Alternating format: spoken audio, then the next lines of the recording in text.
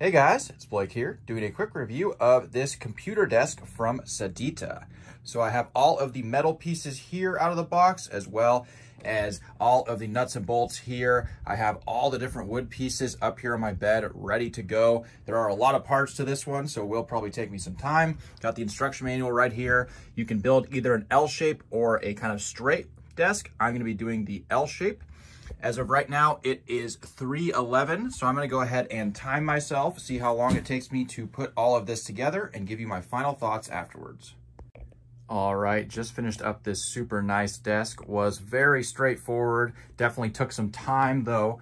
It is currently 5.30, took about two hours to put it all together. Like I said, very straightforward, everything lined up greatly. I'm a real big fan of this desk. You can see you have tons of desk space here, as well as tons of space for monitors. So you could have monitors all the way around if you'd like, or just one side or the other. You also have a bunch of storage here, including this filing cabinet right here, as well as this underneath storage and this lower section. You have tons of room underneath for your PC as well as where your desk chair and your feet would go and also very, very sturdy, can barely even move it, has tons of bracing all the way around. It does have this uh, little cord uh, cord hole here that you can pop up and push your cords through for your monitor, keyboard, or mouse. And you also do have a straight power strip here, two USBs and four main plugs with a switch as well. So overall, very, very nice desk, sturdy, and definitely was great to build. And yeah, just wanted to do this quick review for you, and I hope you enjoyed.